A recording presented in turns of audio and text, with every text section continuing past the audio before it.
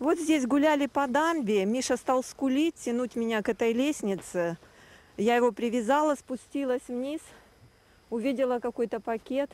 Сверток лежал на самой кромке льда. Пес Миша – настоящий спасатель. Попавших в беду собратьев почуял издалека. Сердце Надежды Викторовой дрогнуло, и вот уже просторная коробка стала домом для щенков.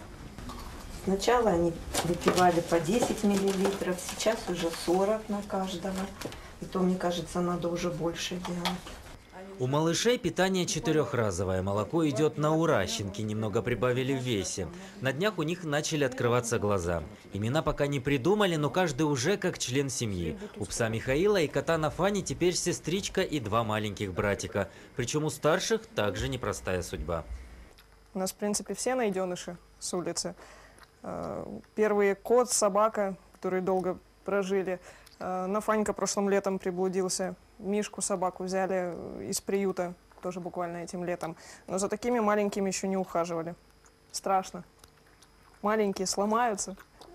Мамину любовь к четвероногим дочь Александра разделяет. Сама большой поклонник домашней живности. Признается, научились многому. Ответы на сложные вопросы ищут в интернете. Там же разместили объявления. Как подрастут, щенков готовы отдать в хорошие руки.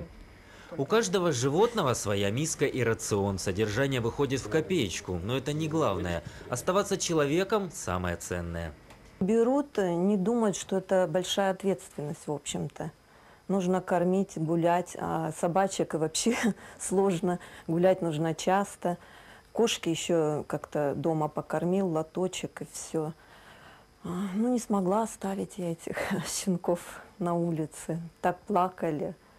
Гулять с собакой необходимо два раза в день. С четырьмя делать это будет куда труднее. Надеются, что найденышам подыщут хозяев, которые окружат их не меньше любовью и заботой. Иван Ольховой, Александр Казанцев, Вести, Биробиджан.